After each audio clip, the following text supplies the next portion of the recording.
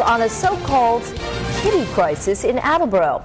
Funny name, but it's actually serious because officials at the city's animal shelter say all but 12 cats rescued from a foreclosed home last month have now found homes. In all, nearly 50 cats were taken from the house on uh, a street there. Most of them were very healthy. The shelter received an overwhelming amount of interest from people who really wanted to adopt these felines. If you'd like to know more about the cats or make a donation to help the shelter care for them, just log on to our website, WPRI.com. A Connecticut